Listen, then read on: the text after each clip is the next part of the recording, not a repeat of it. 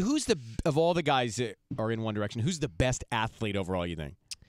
Oh, that's a t- well, definitely. It's, it's probably Liam. Liam's always been quite into his fitness. To be fair, Yeah. good trainer. Yeah, All right, that's enough guy talk. I can't. I know. I enjoyed that though. I enjoyed That that. was nice. That was nice. I um I was looking at there's an article on Pop Sugar that caught my attention about Louis Tomlinson. And the article said that reasons Louis Tomlinson is the hot Brit who should be on everyone's radar. And I just pulled two of the reasons out. One, there's several, but one they say, and this is from an article, not from me. They, one they say, he looks great from behind. Oh. okay, okay.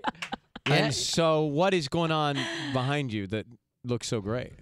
I, don't know. I mean, for for years they they love to talk about my for some reason, but uh, you, got, you got a good tush. yeah, yeah, I'll take it. I'll take it. Prove it. And do you work on it, or is that is that was that? Do you work on it? Do you? No, honestly, I don't. I don't know nothing in the gym. No, no, No. I was just blessed with it from a young age. Yeah, yeah. the, the good gods. And then the other one says he looks great wet. Is there a reason that people would bring that That's up? Wow. random.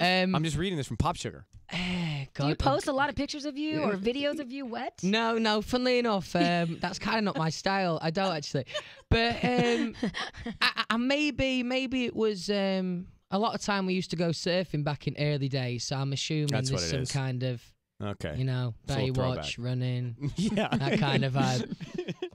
uh, what have you been doing this summer? What's anything fun? Have you escaped and done anything cool?